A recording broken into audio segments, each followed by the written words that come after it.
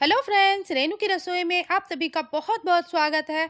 आज मैं आप लोगों के साथ शेयर करने जा रही हूँ बहुत ही ज़्यादा टेस्टी और झटपट बनने वाला नाश्ता की रेसिपी, जिसे लैपटॉप रोटी के साथ में बनाएँगे। तो वीडियो पूरा देखिएगा, रेसिपी पसंद आए तो वीडियो को लाइक शेयर ज़रूर से ज़रूर कीजिएगा। तो चलिए आइए बनाना स्टार्ट करते हैं। तो सबसे पहले यहाँ पे एक रोटी ले लेंगे और इस रोटी के ऊपर हमें सैंडविच वाला चटनी बहुत ही अच्छे से लगाना है। और इस चटनी का रेसिपी घुंगरा सैंडविच वाले वीडियो में आपको मिल जाएगा। उसमें मैं डिटेल रेसिपी शेयर की हुई हूँ। तो रोटी के ऊपर चटनी बहुत ही अच्छे से लग चुका है। इसके ऊपर से चीज़ स्लाइस डालेंगे और हाफ़ रोटी के ऊपर रखना है, पूरा में नहीं रखना है। इसके बाद इसमें अनियन रिंग डालेंगे और कैप्सिकम डालेंगे। यहाँ मैं सारी चीज़ों को इस तरह से रिंग में कट की हुई हूँ। आप चाहे तो स्लाइसेज में भी कट कर सकते हो।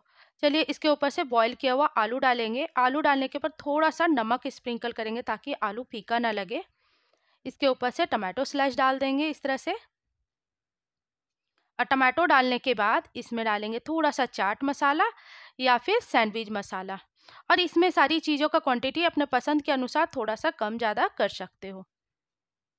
चलिए इसके ऊपर से चीज़ ग्रेट कर देंगे और चीज़ कितना ग्रेट करना है, जितना आपको पसंद हो, उतना इसमें चीज़ डाल सकते हो। चलिए, चीज़ ग्रेट करने के बाद क्या करेंगे, इस तरह से रोटी को उठा करके इस तरह से फोल्ड कर देंगे और हल्का सा प्रेस करेंगे।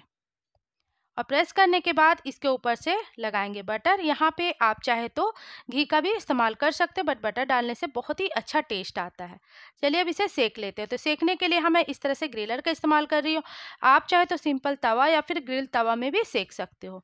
अब बटर वाले साइड को नीचे रखेंगे और ऊपर से एक बार और अच्छे से इसमें बटर लगा देंगे। चलिए अब इसे अच्छे से कलर आने तक सेक लेते हैं।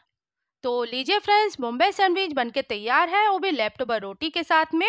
चलिए अब इसे कट कर लेते हैं और कट करने के बाद इसे सर्व करेंगे। तो यहाँ पे मैं सर्व करने के लिए इस तरह से टमाटो केचप से थोड़ा सा जिक बना दे रही हूँ। और इसके ऊपर से थोड़ा सा मेयोनीज डालेंगे। प्रेजेंट आप अपने पसंद के अनुसार कर सकते हो। आप चाहो तो टमाटो केचप डालने के बाद चीज़ ग्रेट करके भी सर्व कर सकते हो। उसके ऊपर से नमकीन सेव डाल करके। वो भी बहुत ही अच्छा लुक आता है। तो इस रेसिपी को बनाना आसान है ना फ्रेंड्स ज़रूर से ट्राई कीजिएगा। और इस आसान रेसिपी के लिए एक लाइक शेयर तो बनता ही बनता है।